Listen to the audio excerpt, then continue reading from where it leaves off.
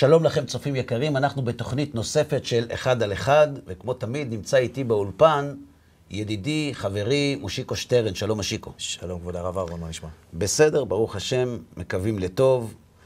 על מה אנחנו מדברים היום?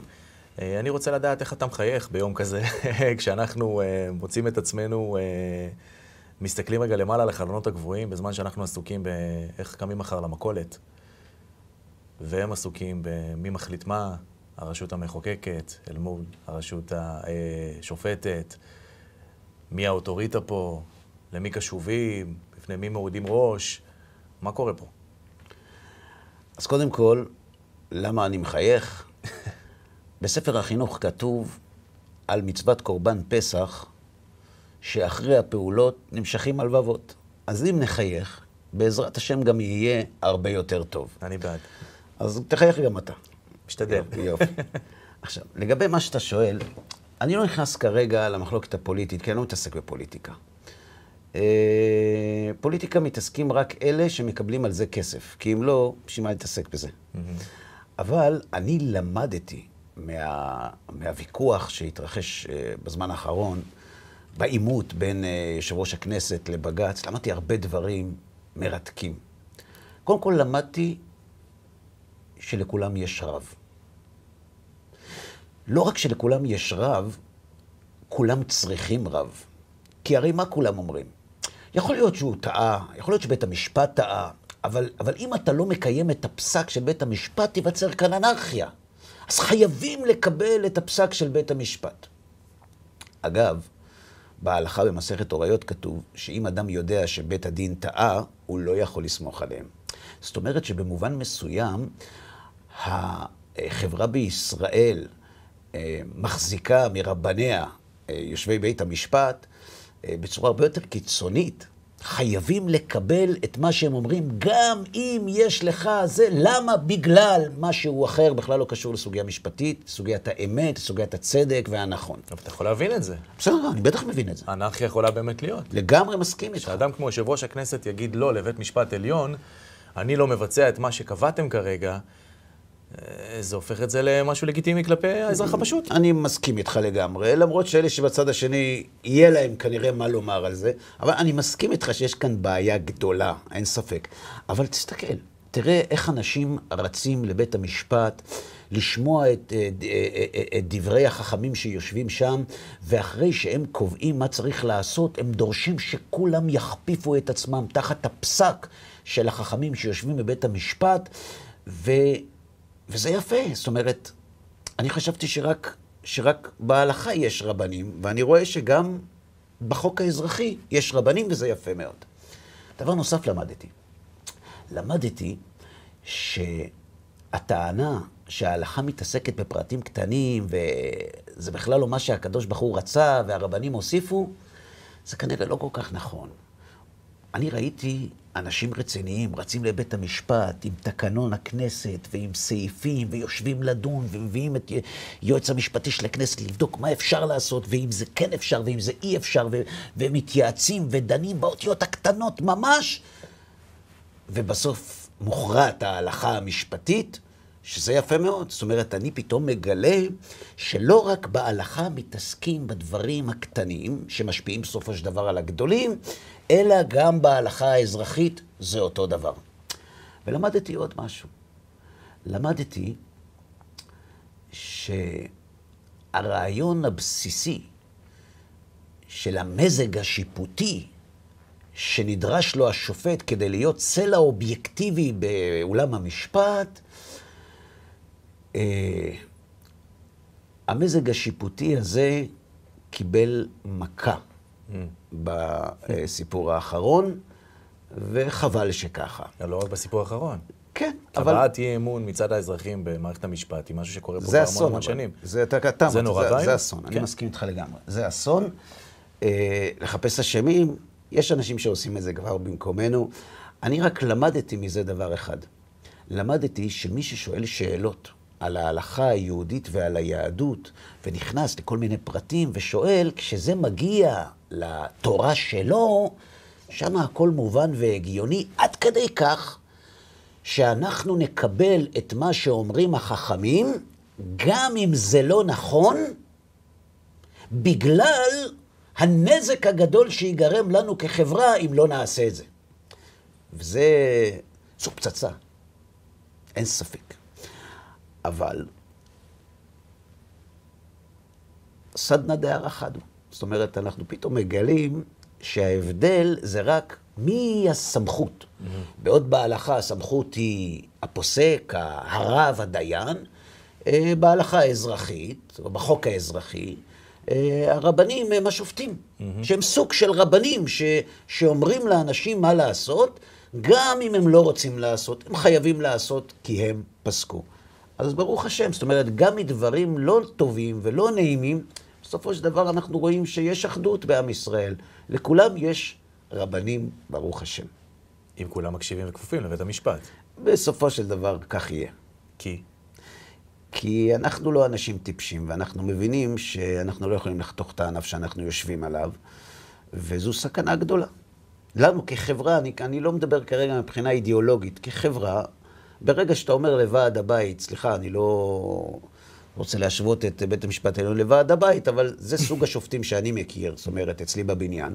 ברגע שוועד הבית שנתמנה על ידי הדיירים אומר משהו, ומישהו אומר, אתם לא מקובלים עליי ואני לא עושה את מה שאתם רוצים, אז הבית יהיה מלוכלך, ולכן צריך את זה. זה עובד דומה? בגרסה היהודית של הדבר, הדיינים, לצורך העניין, הם נבחרים בשיטה דומה? זה כאילו, יש פה... הרי אם האמון רוצה לה, להביע אי אמון בדבר הזה, ולא הוא בחר אותם, את אותם האנשים שיושבים שם בראשות בית המשפט העליון, או בראשות uh, בתי הדין הרבניים, אז, אז, אז איפה לציבור בכלל יש say? אני אגיד לך, יש הבדל מסוים.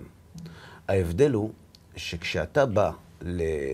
לרב, והרב אומר לך הלכה, ואתה הולך לחפש בספרים, ומגלה בספרים שהדעה היא אחרת. ואתה חוזר אליו, ואתה אומר לו, אדוני הרב, אתה אמרת ככה, אבל אני ראיתי ככה, מה, איך זה מסתדר? בהרבה מאוד מקרים, הרב אומר לאדם שבא לשאול אותו, אתה צודק, לא ראיתי. אם תסתכל בספר יביע עומר, mm-hmm. של אה, מרן, הרב עובדיה יוסף, זכר צדיק לברכה, אה, זכרו יגן עלינו. אמן. ואתה רואה שם, לא פעם, במערכות אדירות של פסיקה הלכתית, שהוא כותב, וכיוון שהראו לי כך וכך שכתב כך, חזרתי בי. מודה שהוא טעה. זה לא, זה לא טעה, זאת אומרת, לא היה בפניי כל המידע, ולכן אני משנה את דעתי. Okay. אוקיי. אין, אין שום בעיה, אנחנו, אנחנו מחפשים את האמת. הרב לא מחפש את הכבוד, פוסק ההלכה לא מחפש את השורה הראשונה, לא מחפש לכופף אף אחד, הוא מחפש את האמת בדיוק כמו זה שבא מולו. ולכן אתה יכול לראות בהרבה מקרים שתלמיד עומד בפני רבו. אצלנו בישיבה, עומד תלמיד בפני ראש הישיבה, נותן שיעור, הרב נותן שיעור, גאון עצום בתורה, שואל אותו התלמיד שאלה, אומר הרב טעיתי כל השיעור שאמרתי לא נכון. מה שאתה אומר פה עכשיו אה, מנפץ אצלי מיתוס גדול, כי התדמית של רבנים תלמידים, התדמית של רבנים קהילות וכל הדבר הזה, זה כאילו מבוטלים לרב בכל דרך אפשרית. אין דרך לשבור את המילה שלו. זאת אומרת, ככה זה נראה כלפי חוץ. בדרך כלל, מי שחושב כך, זה מי שלא מכיר את עולם התורה מבפנים. אני רוצה להגיד לך יותר מזה.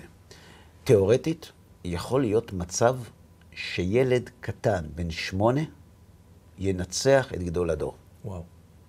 היו דברים מעולם. אנחנו רואים בתלמוד. רבי יהושע בן לוי מספר על ילדים שניצחו אותו, וגם בהלכה. מגיע ילד עם סברה נכונה, עם, עם, עם מקור שה, שהרב לא ידע או לא הכיר, והוא אומר, אתה צודק, ילד. אתה צודק. גם בשאלות הרות גורל, כמו עכשיו? עכשיו, כשאתה מדבר על בית משפט העליון, פה זה כבר סיפור אחר. בית המשפט העליון הוא לא פוסק הלכה בהתאמה לפסיקות של אלה שקדמו לו. הוא מפרש את החוק. Mm. כלומר, הוא, קיבל סמכות, לא קיבל סמכות, לא משנה. הוא מפרש את החוק. כן. הוא יכול לתת פרשנות מקלה, הוא יכול לתת פרשנות מחמירה, הוא מפרש את החוק. עכשיו, ברגע שאתה נותן לבן אדם סמכות לפרש את החוק, אתה צריך לבדוק האם האישיות של האדם הזה שמפרש את החוק, האם היא יכולה להיות משוחדת, האם היא יכולה להיות מקדמת את האג'נדה שלו, כי, כי אי אפשר להגיד לו אתה לא צודק, כי הוא הפרשן.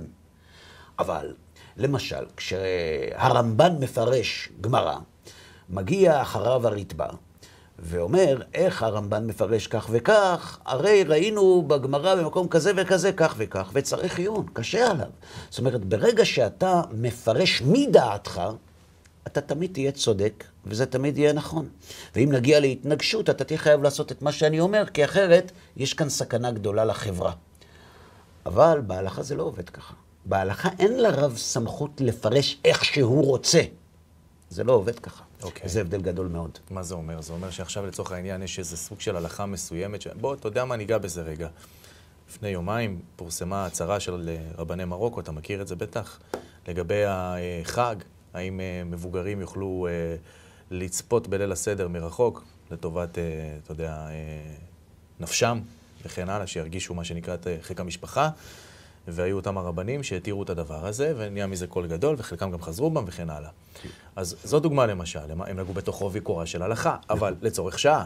ודאי, לצורך השעה הזאת הם בודקים לפי המקורות שיש להם, האם יש אפשרות במצב כזה להתיר דבר מסוים, שאם הוא דאורייתא או דרבנן, או לצורך חולה, או... יש לנו את הקריטריונים, הקריטריונים כבר קיימים, הם לא המציאו אותם. ומה זה שונה? מה בג"ץ עשה עכשיו שונה ממה שאמרנו? בג"ץ פירש פרשנות מסוימת מאוד את תקנון הכנסת. אני לא רוצה להיכנס לפרטים, כי זה לא הנושא שלנו, אבל, אבל אם, אם, אם התקנון אומר שיושב ראש הכנסת עד להשבעת ממשלה חדשה צריך להעמיד יושב ראש, את יושב ראש לבחירה, זה אומר שעד שתושבע הממשלה החדשה צריך להעמיד את יושב ראש לבחירה. העד הזה הוא לא ברור. עכשיו, האם עד זה בהזדמנות הראשונה, או הכי מהר שאפשר, או, או זה נתון. לשיקול כן, דעתו כן. של היושב ראש. היה בבית המשפט העליון ואומר, כיוון שיש כאן רוב שרוצה את זה עכשיו, ואתה אומר לא, אתה נאחז בקרנות התקנון, למרות שיש תקנון כזה, ואתה פוגע בכוחו של הרוב, ברעיון הרוב, באחד הרעיונות הכי מקודשים בדמוקרטיה. יבוא הרעיון הקדוש הזה וינצח את הפרשנות שלך לתקנון. איך הוא יעשה את זה? אנחנו נגיד שהפירוש הוא הכי מהר שאפשר, ולכן אתה תעשה את מה שאנחנו אומרים לך. צריך להיות מלאך כדי לומר את הדברים האלה מתוך נאמנות לתקנון, ולא מתוך עמדה אישית. ויכול להיות שהם מלאכים. הלוואי. כן. דבר ראשון. זה יעשה לנו הרבה יותר שכל בכל הסיפור הזה. כן. תגיד לי, אה, ומי מי בעצם, מי, מי בעצם קובע בעולם ההלכתי, כשדבר כזה קורה, כשמגיעים לסוגיות כאלו, הרות גורל? אני אגיד לך משהו. על מי מסתמכים בסוף, כשלכל אחד יש את דעתו? אתה בעצם, אתה בעצם שואל על, על מושג הרב. זאת אומרת, מה עושים כשיש שאלה הלכתית? כשיש שאלה הלכתית, הולכים לארון הספרים ומחפשים את התשובה לשאלה. Mm-hmm. מי יכול ורשאי לעשות את זה? כל אדם. כל אדם. כל אדם. רק מה? הוא צריך לדעת מה יש בארון הספרים, כדי שכשהוא יחליט, הוא לא ימצא את עצמו מחליט נגד מה שכתוב בגמרא, מה שכתוב בראשונים, מה שכתוב במשנה, או מה שכתוב בכל הספרות ההלכתית שהגיעה עד היום. כלומר, יש היררכיה מסוימת. כן. זה עובד על פי איזה סדר. בוודאי. אוקיי. בוודאי שזה עובד. אבל זה לגבי הפן ההלכתי.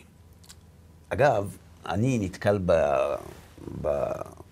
בתחום שבו אני מתעסק, בלא מעט אנשים ש... שהנושא של הרב מאוד מקומם אותם. אולי גם אתה נתקלת בזה? מה, של... אה, למה אתה מקשיב לרב שלך? אה, בדיוק. אתה יודע אוקיי. מה המזל שלנו? נו. המזל שלנו זה שהיהדות היא כל כך עתיקה. ובעתיק יש מעלה. אם היהדות כל כך הרבה שנים, סביר להניח שכל השאלות כבר נשאלו. נכון? נכון. עכשיו, אם היא ממשיכה להתקיים, סביר להניח שרוב התשובות כבר ניתנו. נכון. לכן כל מה שאדם צריך לעשות כשהוא נשאל שאלה, זה להחזיק אינדקס ביד ולבדוק איפה נמצאת התשובה. אבל יש מי שיגידו, אוקיי, אבל זה היה מתאים לתקופה ההיא. אוקיי, גם השאלה הזאת מופיעה באינדקס. אוקיי. זאת אומרת, קשה מאוד להפתיע את היהדות. זאת אומרת, קשה מאוד לחדש שאלה, למצוא שאלה חדשה שאף פעם לא שאלו אותה, ואז אנחנו נגיד, או, oh, לא נתקלתי בשאלה כזאת, אני לא יודע מה להגיד עכשיו. כמעט ואין מצב כזה, לא בגלל שכולנו חכמים, כולנו נבונים, בגלל שכל השאלות כבר נשאלו וכל התשובות כבר ניתנו. נכון. ואתה צודק, הטיעון הזה עולה לא פעם. אנשים אומרים, בפרט, אתה יודע, אבא מגדל ילד. הילד הזה חוזר לו בתשובה פתאום. ואבא אומר לו, תשמע, הוא אומר לו, אני צריך לשאול את הרב שלי. אבא, זה, זה עם תולעים, זה בלי תולעים, אני לא יודע, אני צריך לשאול, הסרתם את זה, אז זה ספק, אז אני לא יודע מה לעשות, אז צריך את זה רבנות. זה מטריף את הדעת של ההורים שלו. לגמרי. עכשיו, למה זה מטריף אותם? מהרבה סיבות. אחת הסיבות קשורה לענייננו. האבא עומד ככה, אומר, מה קרה לבן שלי? אני גידלתי אותו. אני גידלתי אותו. הילד הזה היה קצין בצבא, צעק אחריי, אנשים הלכו אחריו באש ובמים, פתאום הוא נהיה נמושה. פתאום הוא אומר לי, אבא, אני צריך לשאול את הרב שלי על תולעים. מה קורה פה? תתעורר, ילד. זה מטריף את דעתו. למה זה מטריף את דעתו?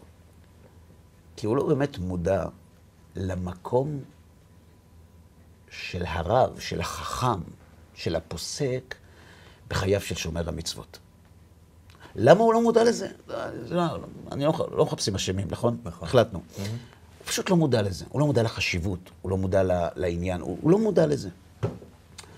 ו, וזה גורם לתסכול מאוד גדול. זאת אומרת, הילד הזה פתאום נהיה כלום, אין, אין לך דעה אישית, אתה לא מחליט לבד, כל דבר אתה לשאול את הרב שלך. מה באמת עושים עם, עם, עם מצב כזה? זאת אומרת, מה באמת המקום של הרב? זה מה ששאלת אותי, מה המקום של הרב בחיים התורניים של היהודי המאמין? זאת אומרת, אפשר בלי רב, חייבים רב, אה, הולכים לרב רק כשיש שאלות, זאת אומרת, מה המקום שלו?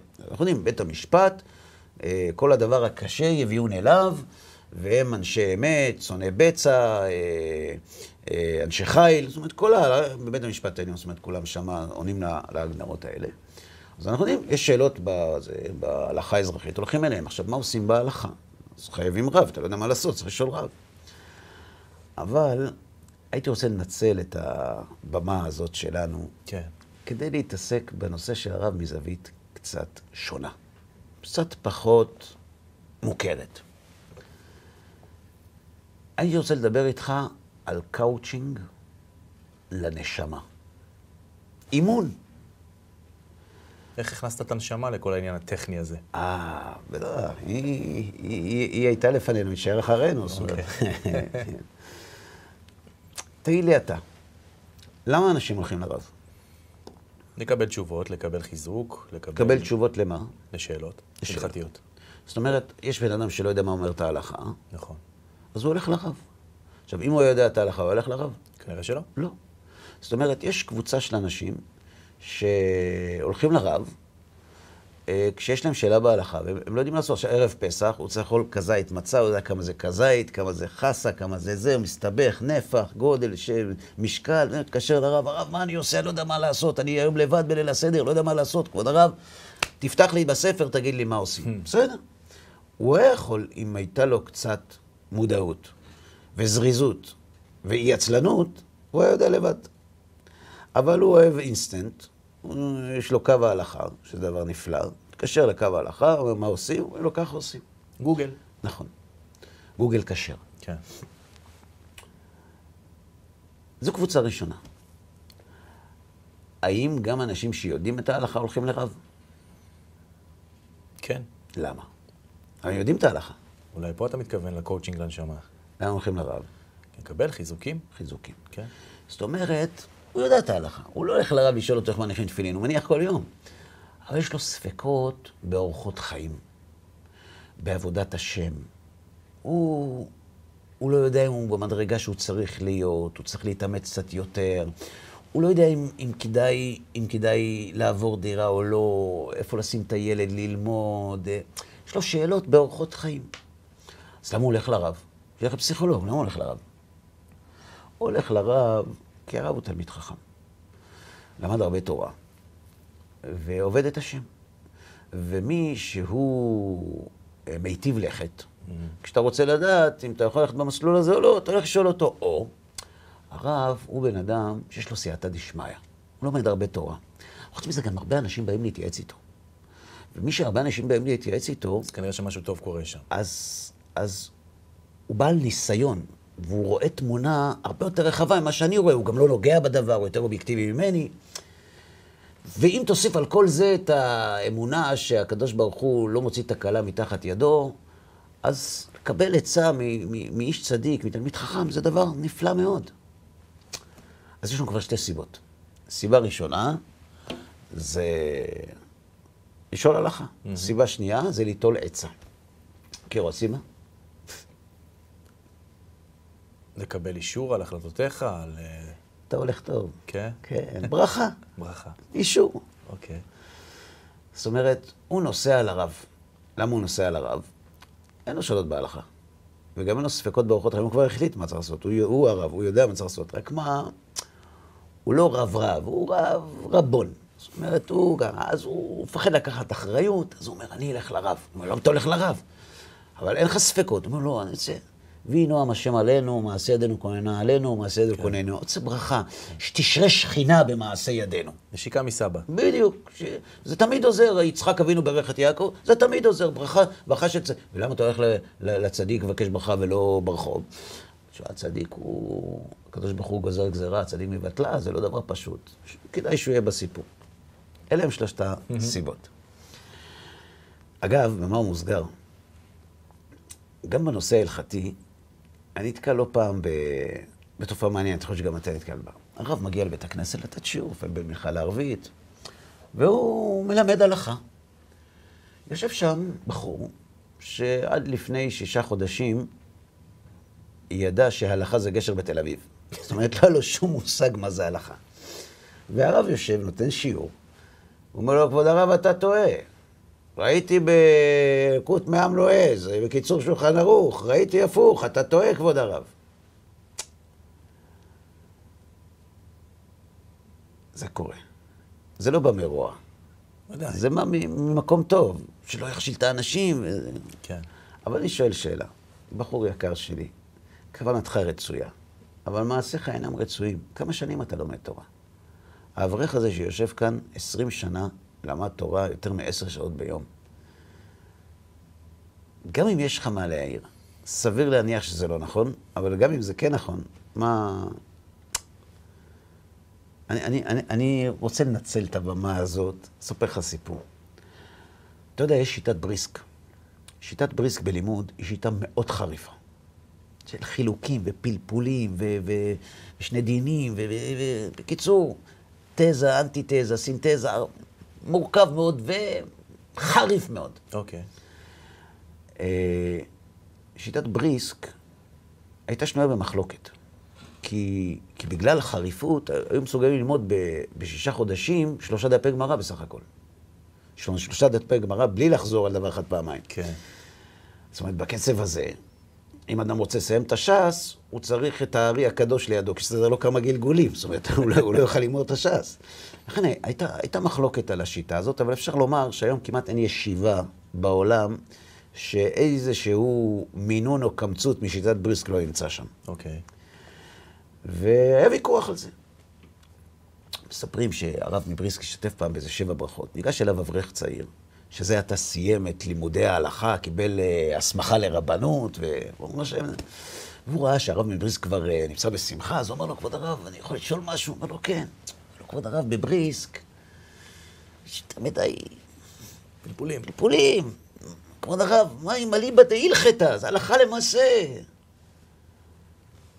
הוא מסתכל עליו ואמר לו, ואתה למדת הלכה למעשה? רצה תלמיד חכם לשמוע ענווה. לו, זאת אומרת, ברוך השם, סיימתי, קיבלתי הסמכה לרבנות, ברוך השם, כן, לא, ברוך השם. או, אז לו, אז טוב שפגשתי אותך. השגחה פרטית. למה? הוא אומר, תראה, אני, עד שאני פוסק ההלכה לוקח לי הרבה זמן, צריך להתיישב, לפתוח ספרים וזה, אבל ניגשה אליי אישה, לפני שבאתי לפה, ממש לפני שיצאתי לשבע ברכות, עם שאלה בהלכה. ו...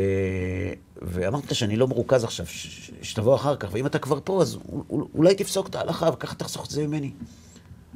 אז אומר לו, כבוד הרב, אני לא, לא, לא, לא יכול לפסוק בכל הלכה, אבל שהרב יגיד, נראה, אולי נדע.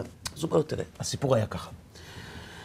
האישה שמה בסיר על האש עשר חתיכות בשר, חלק, גלת כשר ללא רירין כלל, בית יוסף. שמה מים, שמה תבלינים, בשלת הבשר. כשהוציאה את הסיר מהאש, שפכה את המים, שמה את החתיכות בשר כדי שהמים אה, אה, יזלו מהם, סופרת את החתיכות, רואה יש 11. עכשיו, כל מי שקנה בשר גלת כשר יודע שאם קנית עשר חתיכות, אין 11. יש תשע, 11 אין. אז היא קוראת לעוזרת הגויה שלה ואומרת לה, תגידי, את הוספת פה חתיכת בשר שלך? אז היא אומרת לו, חס ושלום, מה, את, את, את יודעת, אני מבשלת בחצר, אני, זה לא, את לא אוכלת את שלי. אז היא אומרת לה, אז איך נהיה 11? היא אומרת, כנראה, שמת 11. היא אומרת, לא, אני שמתי 10. את הבאת היום בשר לבשל לעצמך? אז היא אומרת לה, כן, אבל זה בסיר שלי. פתחו את הסיר של הגויה, ראו שאין שם בשר. קיצור, חתיכת נבלה של הגויה, נמצא בתוך הסיר. ואישה באה אליי עם הסיר בוכה, אומרת, זה אוכל לשבת, אני לא יודעת מה לעשות. אתה למדת הלכה למעשה, אומר הרב לאברך. אולי תסביר לנו מה עושים. אומר, אה, מן הסתם אסור. אומר לו, למה אסור? הוא אומר, אה, כי לא היה שישים, צריך פי שישים. בטל בשישים. אומר לו, הרב סגור אז שאסור. הוא אומר לו, כן, לא שאלה קשה, מן הסתם אסור. הוא אומר לו, אז תדע לך שמותר. הוא אומר לו, למה מותר? אומר לו, קודם כל תדע שמדאורייתא, כלומר מן התורה, לא צריך שישים. מין במינו. כלומר, אם יש לך שלוש חתיכות בשר, כלומר אותו המין, בשר מול בשר, שתיים נגד אחד מספיק. זה נקרא בהלכה מין במינו, חד בתרי בטיל. זאת אומרת, אם יש אחד מול שניים וזה מין במינו, מהתורה הולכים אחר הרוב. ומותר.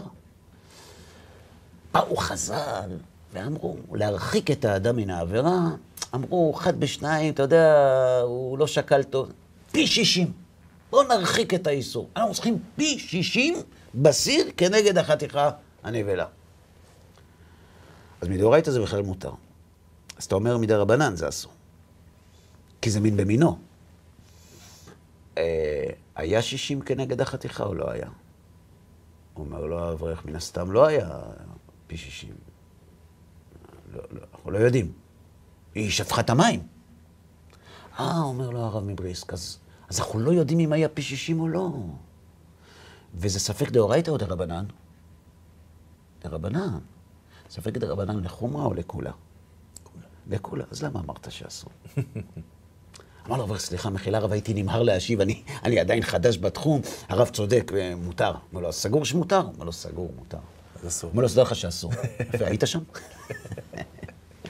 אומר לו, כבוד הרב, איך אסור? אומר לו, תראה, מצד החשבון שעשינו עד עכשיו קומה ראשונה, הכל בסדר, אבל יש דופלקס.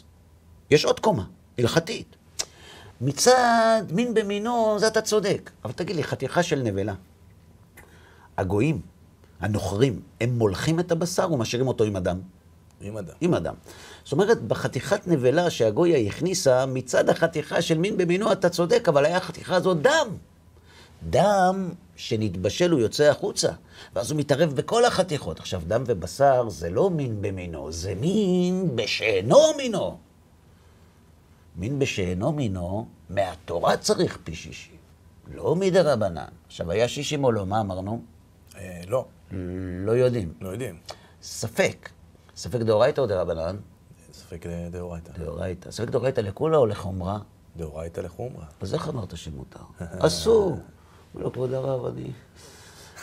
אסור, אסור, זהו, טעות, אסור. אומר לו, סגור? אז מותר. אז מותר. הוא אומר לו, איך מותר? הוא אומר לו, פשוט. זה נכון שמצד הדם זה לא מין במינו. אבל תגיד לי, אתה למדת הלכות איסור והיתר. הדם שהתורה אמרה, כל חלב וכל דם לא תאכלו, לאיזה דם התורה התכוונה? דם בעין, כלומר דם, דם. אבל אם הדם הוא התבשל, הוא לא אסור מהתורה. דם שנתבשל אסור באכילה רק מדרבנן. והדם הזה שהיה בתוך הנבלה והתבשל בתוך הסיר, הוא התבשל או לא? בשל? התבשל. דם שנתבשל דאורייתא או דרבנן? דאורייתא. לא, דרבנן. דרבנן. כן. דם שנתבשל דרבנן, שנתערב מין בשאינו מינו, צריך פי שישים מדרבנן או מדאורייתא אמרנו עכשיו? מדרבנן. כי מהתורה מותר לאכול את הדם הזה. אז יש לנו ספק אם היה שישים או לא. אז זה ספק דרבנן או דאורייתא? לא אני לא מחזיק אותי. ראש. ספק דרבנן. ספק דרבנן לכולה, למה אמרת שאסור? ההוא התעלף. אומר לו, בוא, תקום. אז מותר. אומר לו, מותר, מותר, מותרים לכם, שרויים לכם. אומר לו, לא, רק שתדע שאסור. אומר לו, איך אסור? אומר, אתה מותר. אומר לו, פשוט, יש עוד קומה. אומר לו, מה? יש דין. היוצא מן הטמא, טמא. מה זה? חלב של נאקה, נקבת הגמל. טמא. למה? היא טמאה, זה טמא. היוצא מן הטמא טמא, זה דאורייתא או דרבנן? דאורייתא. דאורייתא. הדם הזה שיצא מהחתיכה, שהיא טמאה, היא נבלה. היוצא מן הטמא, טמא מדאורייתא. אז נכון שמצד שזה דם שנתבשל זה דרבנן, אבל מצד היוצא מן הטמא, טמא זה דאורייתא. עכשיו, יש לנו ספק אם היה פי שישים או לא. זה בספק בדאורייתא או בדרבנן? דאורייתא. אז איך אמרנו שמותר? אומרים שאסור. אבל למרות זאת מותר. הוא כבר לא היה איתו. איך מותר? יש הבדל בין טרפה לנבלה. טרפה זה בעל חיים שיש בו מום. נבלה זה בעל חיים שאין בו מום. רק בשחיטה נתקלקלה השחיטה, ואז הבהמה הזאת מתה, שלא על ידי שחיטה כהלכה, לכן היא נקראת נבלה. עכשיו שאלה, אדם שחט תרנגול, תרנגולת, סליחה, שחט תרנגולת, ונמצאה טרפה. אומר בעל הבית לשוחט, טוב, לפחות תבדוק, אולי יש ביצה בפנים, בודקים, יש ביצה שלמה, עשויה, מוכנה, רק צריך לשים אותה במחבת. מותר לאכול את הביצה הזאת או לא? כנראה שלא, לא? למה לא? נכון, אתה צודק. טמא מן הטמא, מה ש... כי זו טרפה, כן. וה, וה, והביצה הזאת נתפתחה וגדלה ושווה את חומרי הגלם שלה מעוף, שהוא אסור באכילה, אז גם זה אסור. עכשיו, מה יקרה אם השוחט לא המקצועי, שחט את התרנגולת, דרסה, גרמה, עיכוב, לא משנה, עשה משהו שם לא בסדר בשחיטה, הלכה התרנגולת, אסור לאכול אותה, נבלה.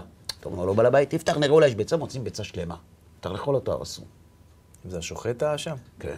אז כנראה מותר. למה מותר? כי הביצה הזאת לא נולדה עכשיו.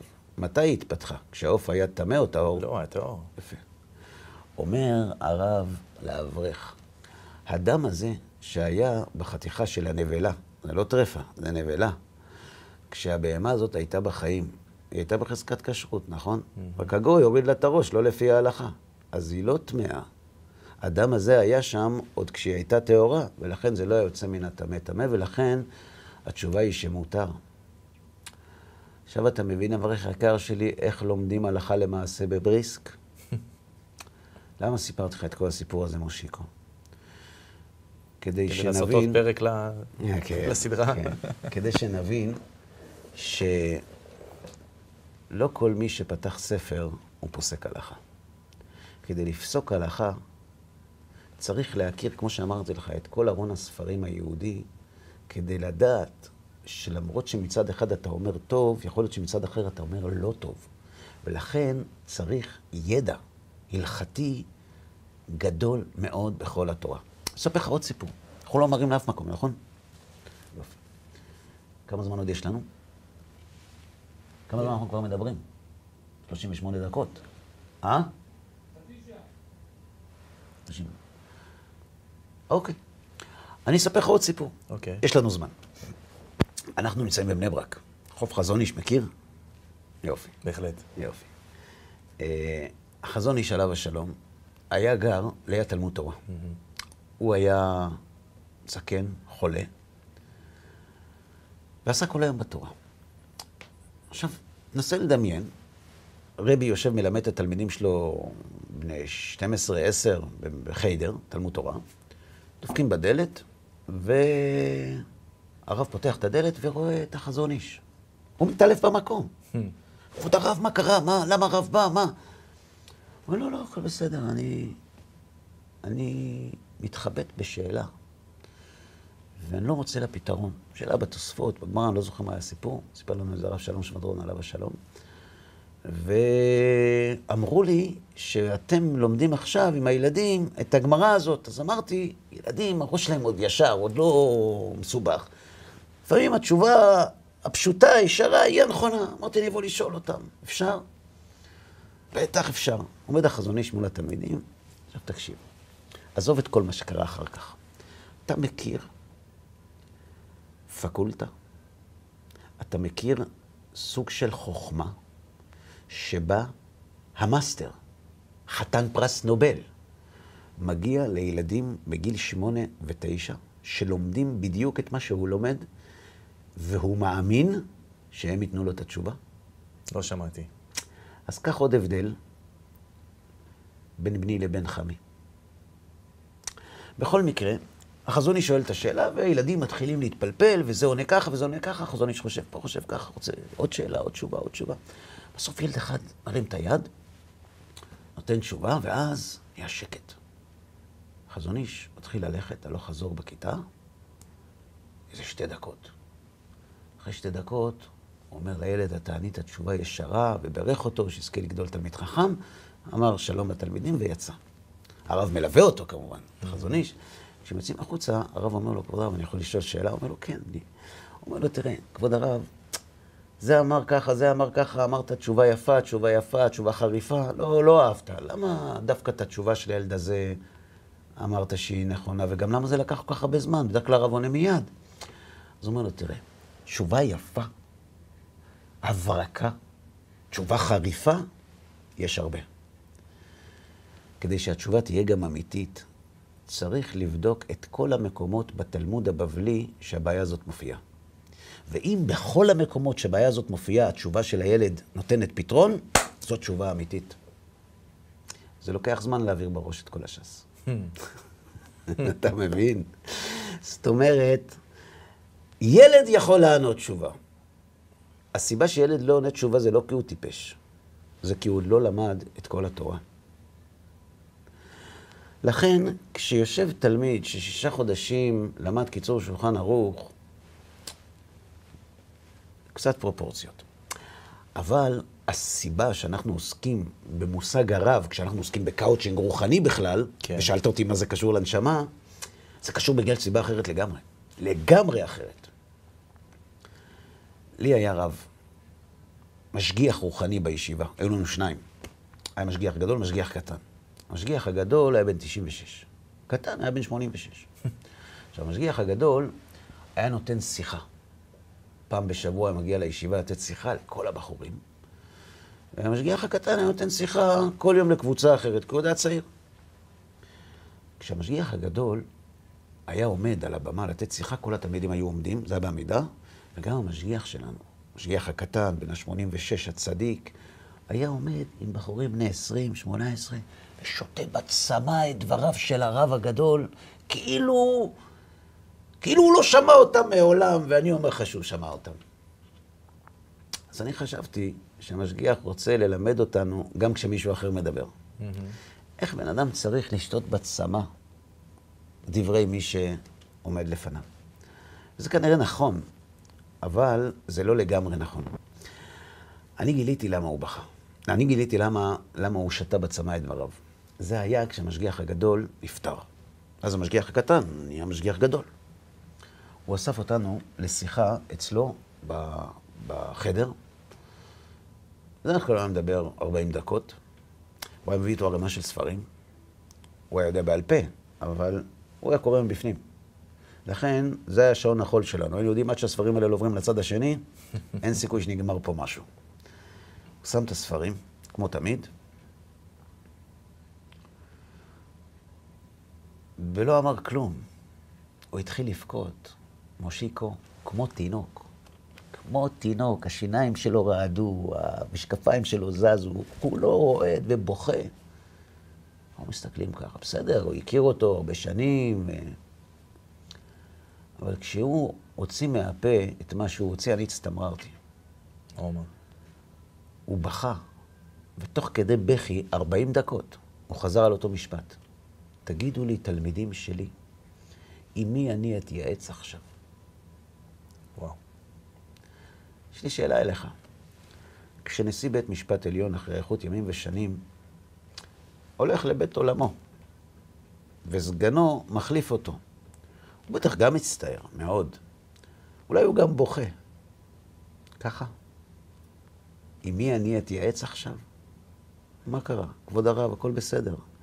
עשר שנים הבדל במרומי הגיל שלך זה לא כך נורא. מה זה אם היא תתייעץ עכשיו? כל העולם, כבוד הרב, בא להתייעץ איתך, אתה שואל עם מי אני אתייעץ? בשבילי, זו הייתה שיחת מוסר הכי משמעותית שקיבלתי בחיים שלי.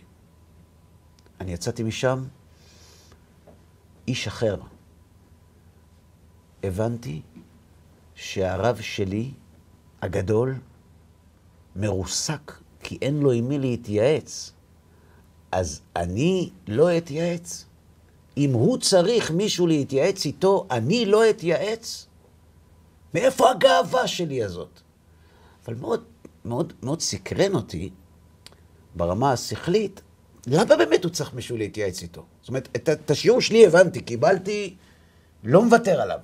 אבל השכל שואל, רגע, אבל באמת, אה, בשביל מה הוא צריך להתייעץ איתו? וכאן אנחנו מגיעים לקאוצ'ינג הרוחני. יש עוד סיבה שבגללה צריך רב. ובגלל הסיבה הזאת, הרב שלי בכה. הוא לא בכה כי... כי יש לו שאלה בהלכה, אין לו ספקות, הוא לא צריך ברכות, הוא מחלק הכל בעצמו. הוא בכה בגלל משהו אחר. מה? מי שאין לו רב, במובן שעליו אנחנו מדברים עכשיו, הוא לא יגיע אל תכלית עבודתו הרוחנית. זאת אומרת, אם אין לך בפנקס רב, אתה, לייעוד הרוחני שלך, לפיתוח האישיות שלך, מבחינה רוחנית, לא תגיע.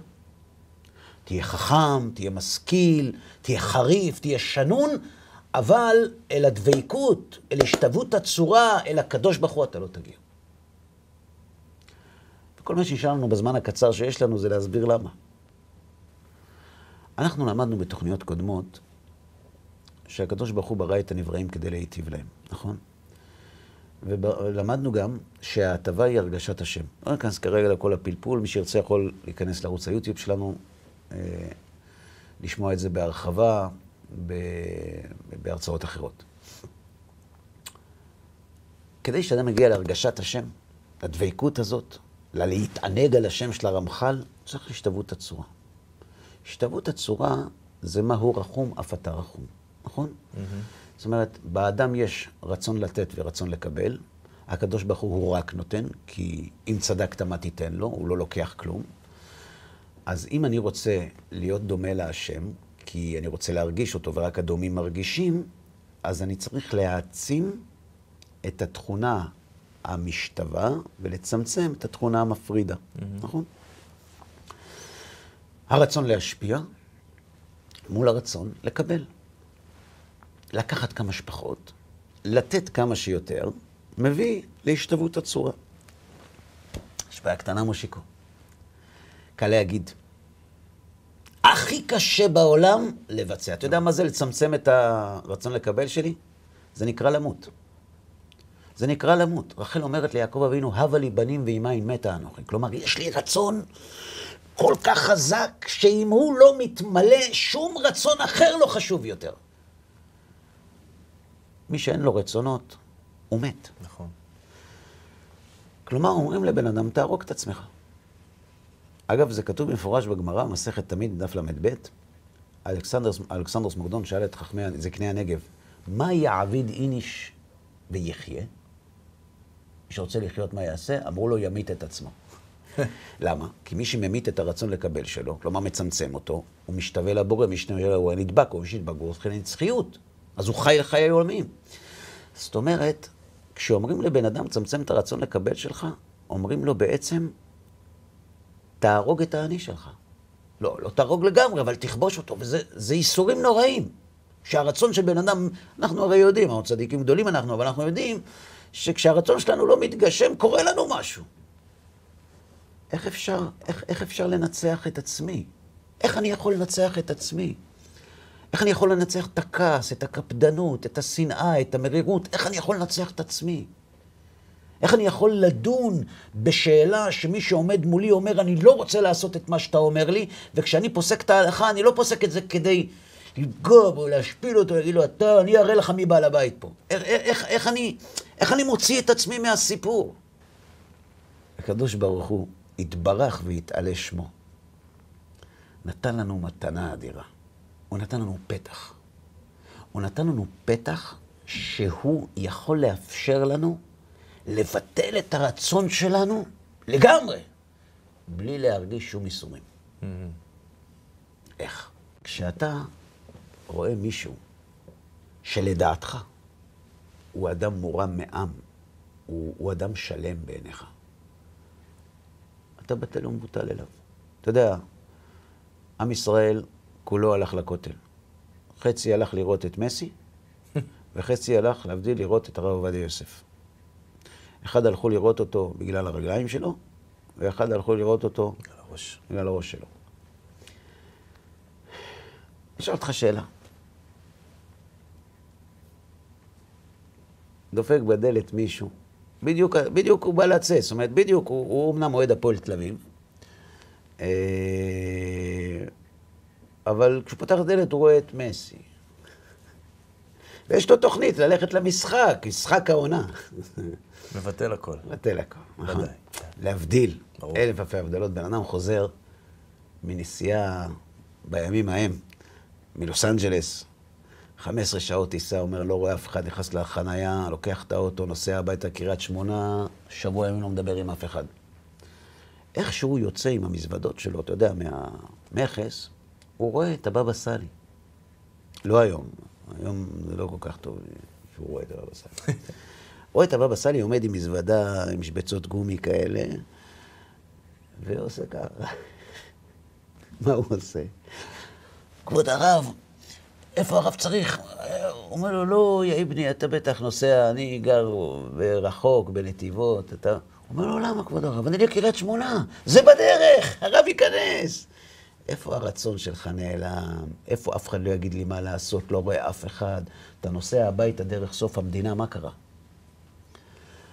ראית מישהו שהוא מבחינתך האיש השלם. וטבע הטביע בנו הקדוש ברוך הוא, שכל אדם שרואה מולו אדם שלם, לפי דעתו שלם, הרצון שלו מתמזג עם הרצון של האיש ההוא. מבוטל. בטל אליו. הוא לא בטל מבחינת אני כלום. כן. הרצון שלו נשאר, אבל הוא מתמזג. מה שהוא רוצה, אני רוצה. כן. לכן צריך רב. אתה צריך שיהיה לך בחיים, אני צריך שיהיה לי בחיים מישהו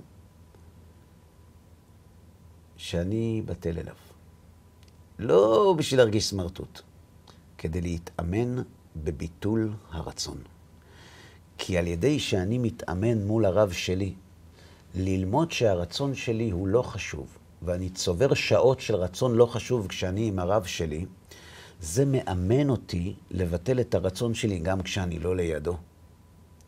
הרב הוא קאוצ'ר רוחני, הוא קאוצ'ר לנשמה, הוא קאוצ'ר שמביא את האדם לדבקות בעצם קיומו, בלי ששאלת אותו, בלי שקיבלת ברכה, בלי שהתייעצת, נסעת עד הצפון להיפגש עם הרב, לא קיבל אותך.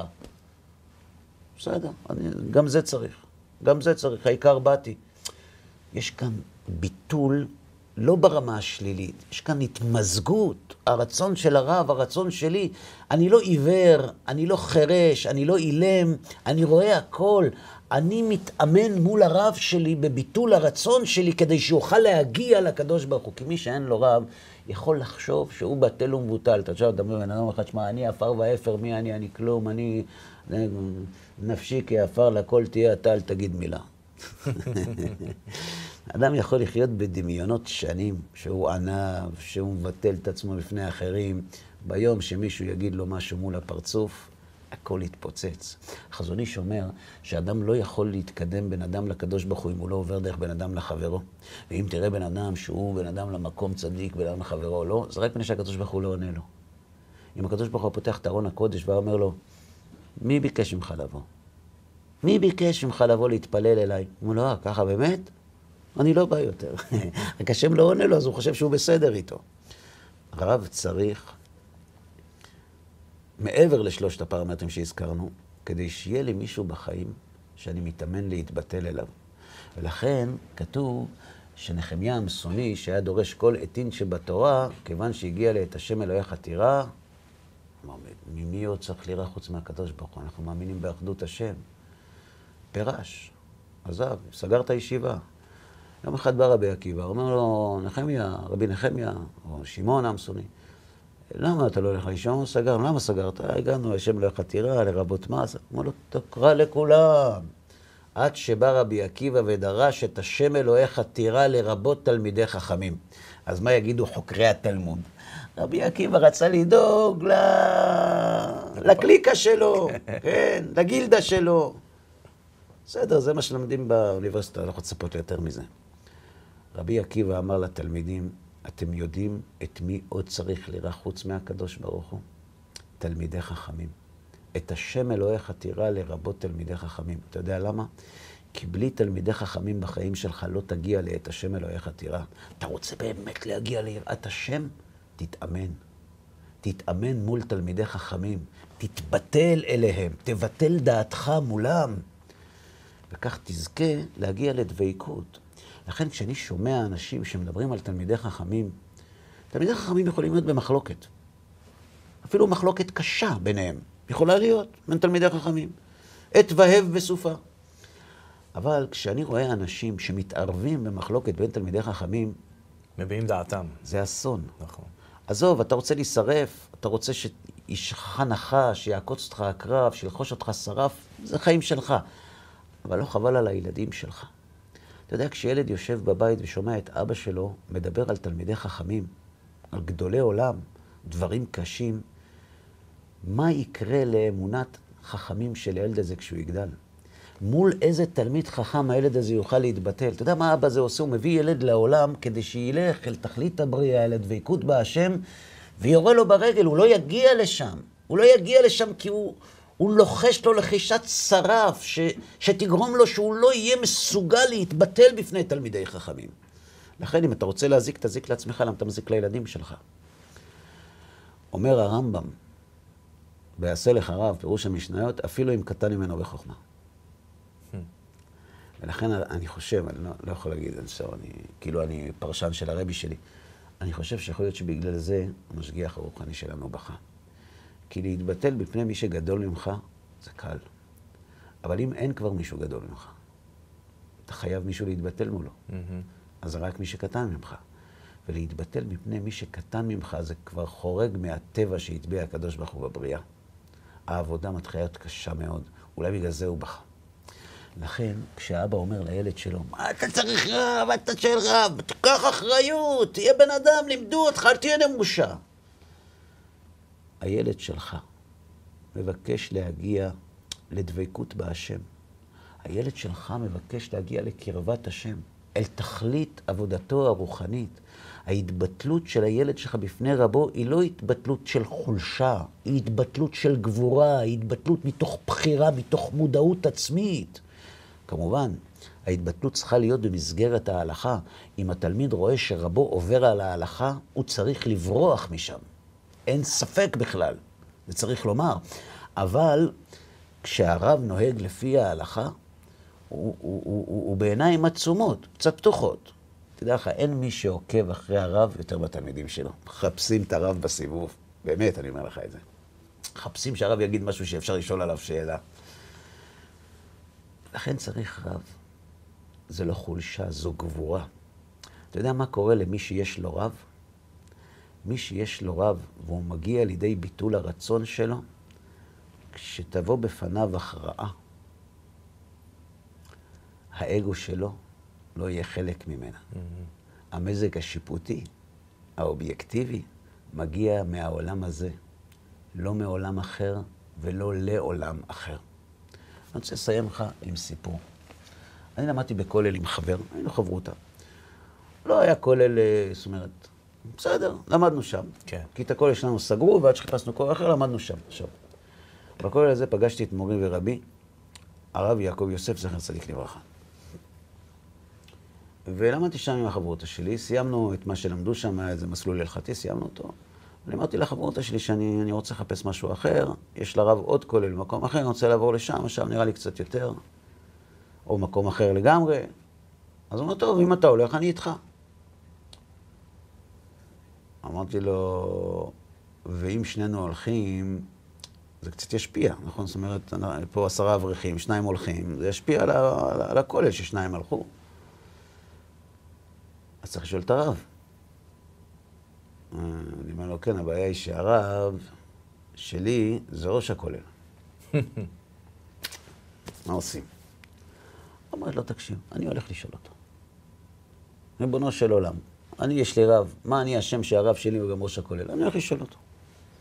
הלכתי אליו, אמרתי לו ככה וככה, אני רוצה להתקדם, אני רוצה לעזוב? הוא אומר לי, כן, זה נכון, אתה באמת צריך לעזוב. אמרתי לו, כבוד הרב, אני עוזב גם החברות עוזב. הוא אומר, כן, אני מתאר לעצמי שגם הוא עוזב. שיהיה לכם בהצלחה וכולי. אמרתי לו, כבוד הרב, אבל יכול להיות שזה קצת יזיק לאווירה. זה יזיק, כן. שיהיה לכם בהצלחה. אמרתי לו, אז איך הרב אומר לי, לעזוב אם הרב יודע שזה יזיק לכולל? הוא אומר לי, אהרון, אני מתפלא עליך. אתה שאלת אותי מה טוב לך או מה טוב לכולל. יפה. את האנשים האלה אנחנו מחפשים. את האנשים שכשהם פוסקים את ההלכה, הם לא מכניסים את החשבונות הפרטיים שלהם. מי שמסתכל על גדולי ישראל ורואה משהו אחר, הוא כנראה לא מכיר את העולם הרוחני שבו הם חיים.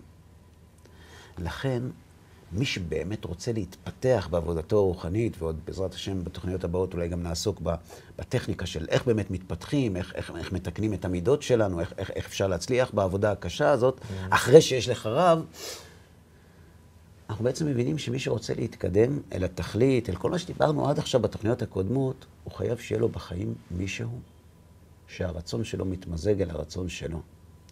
עשה לך רב והסתלק מן הספק. אז פתחנו בכד וסיימנו בחבית. פתחנו בבג"ץ וסיימנו ברב. אתה מזכיר לי, ולדעתי גם חילקנו גם ככה את התוכנית הזאת לשני פרקים, לפי אורכה. אז אני מרשה לעצמי לשאול עוד שאלת uh, סיום כזאת. Uh, אתה מזכיר לי שאני גם, הייתה לי איזו התנהלות משפטית בשנים האחרונות, וכל פעם שהגעתי לבית המשפט, היו המון פסוקים. לא יודע אם היית בבית משפט. לא, ברוך השם. תודה לאל. היו המון פסוקים מפוזרים על החלונות. בהדפסה כזאת מאוד, אה, אתה יודע, דקורטיבית וזה. תמיד שאלתי את עצמי, האם באמת הם, אתה יודע, הם, הם ניזונים מזה בכלל? למה יש להם את הפסוקים? הם ניזונים מזה בכלל? עכשיו שאתה אומר לי כל מה שאתה אומר לי, אני מנסה רגע להשליך את זה לעולם המשפט. כשהמשגיח שלך הקטן, גילה שהמשגיח הגדול נפטר והגיב כמו שהגיב, ובאמת לא נשאר לו עם מי להתייעץ, אז שם למעלה, סתם חומר למחשבה, אני לא מצפה שתענה לי. עם מי הם מתייעצים? ממי הם מקבלים? מה. מהפסוקים. מהפסוקים. כן, הפסוקים נמצאים, לא, אני לא אומר את זה בצחוק. הפסוקים אמורים לעורר השראה. אומרים, והיו עיניך רואות את מוריך. אז נכון שבית המשפט לא פוסק על פי ההלכה, וגם לא על פי המשפט העברי. אבל הוא מתקשט במשפט העברי, והפסוקים של התנ"ך מעניקים לו השראה. אה, ניו אייג' כזה. כן, מעניקים לו השראה לשופט. וכמובן שאני הייתי רוצה שזה יהיה קצת יותר אה, משמעותי וזה יותר ייכנס, בסדר, אני לא קובע מי אני שיחליט. אבל אני אומר, עזוב, נחזור לשאלה האחרונה ששאלתי אותך באמצע התוכנית שלנו. האם אתה מכיר פקולטה שבה מה שלומד הפרופסור, לומד ילד בן שמונה? לא. לא. האם אתה מכיר פקולטה שילד בן שמונה נכנס לשיעור, אומר לפרופסור, אתה טועה, והוא אומר לו, נכון. כנראה שלא. זה הכל. אבל אם כבר נגענו בזה ויש לנו עוד דקה, עוד משהו תגיד לך. הגיעה אליי, התקשרה אליי מישהי, אמרה לי, שמע, שמעתי שיש לך הרצאה בחיפה. יש לי חברה שהיא נמצאת באיזה כת. כת, אה, כת. והיא מתלהבת על הכת הזאת, ואני, אני, היא, זה הורס אותה, אני רוצה להוציא אותה משם, אני לא יודעת איך. אמרתי לה, תראי, אני לא, אני לא הכתובת, אני לא, לא מתעסק בתחום הזה. ומי ששבוי בכת מסוימת זה, זה לא דבר פשוט. לא, לא, גם לא אוהב להיכשל, עזבי, לא, תחפשי מישהו, יש בארגונים מסוימים שמטפלים בדברים האלה. לא, אבל אני כבר אמרתי לה שתדבר איתו. Hmm. אמרתי לה, את מתקשרת כדי לידע אותי. אין לי מה להגיד לה, אני יכול לעזור לה. בסדר, אז תגיד לה שאתה לא יכול לעזור לה. את זה אני מוכן להגיד לה. טוב, בסוף ההרצאה, זה היה בחיפה, היא ניגשה אליי עם החברה. אני אומר, כן, תשמע, אני נמצאת במקום כזה וכזה, וזה עושה לי רק טוב, והחיים שלי העירו מאז פגשתי אותם, ואני לא מבין מה, אני לא מבינה למה אומרים לי שזה לא טוב, ולא זה. אמרתי לה, רגע, וזה עושה לך טוב, הכל בסדר? כן, כן, אמרתי לה, טוב, זה...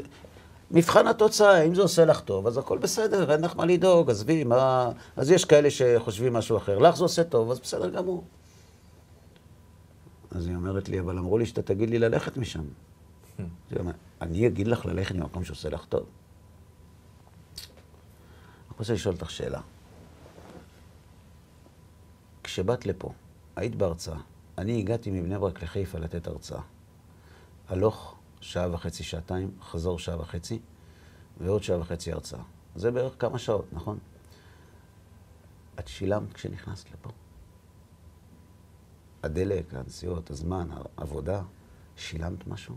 היא אומרת, לא. למה צריך לשלם? אמרתי, לא, לא, רק שאלתי אם שילמת. לא, לא שילמתי. כמה זמן את נמצאת שם בקבוצה שם? היא אמרת לי, תשעה חודשים. וכמה זה עלה לך עד עכשיו? היא אומרת לי, האמת לא חשבתי על הסשן הזה, 20 אלף שקל. וואלה. אמרתי לה, שיהיה לך רק טוב בחיים, הכל טוב. והלכתי. אז זה נכון שזה כמו בסיפורים, אבל אחרי כמה חודשים היא התקשרה אליי. לא, לא זיהיתי. אמרת לי, אני דיברתי איתך, וזה, אה, נכון, נכון, מה? רוצה להגיד לך תודה. הערת לי את העיניים. אם אנשים כל כך רוצים לעשות טוב, למה זה עולה כל כך הרבה כסף? זאת אומרת, אנחנו, כשאנחנו בוחרים דרך לחיים, אנחנו צריכים לשאול את עצמנו, מי שעומד מולנו, מי שאנחנו עומדים מולו, מה האינטרס שלו? איפה הוא בסיפור? וזו נקודה למחשבה שכל אחד צריך לשאול את עצמו. אבל להתבטל בפני רב, אנחנו חייבים. מושיקו, תודה רבה לך. תודה רבה. שהיית איתי, שיהיה לך רק טוב, בשורות טובות. וגם לכם, צופים יקרים, תודה רבה רבה שהייתם איתנו. אנחנו מאוד מקווים שנהניתם מהתוכנית, ובעזרת השם נתכנס כאן לתוכניות נוספות. כל טוב לכם.